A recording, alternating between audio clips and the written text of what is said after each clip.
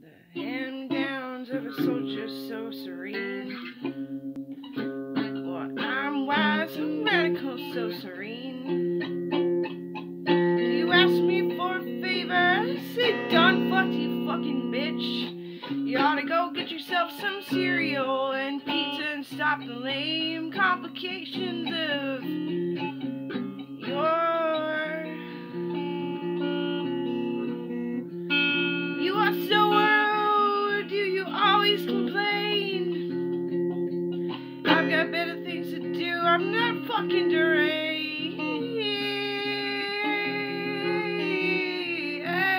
No.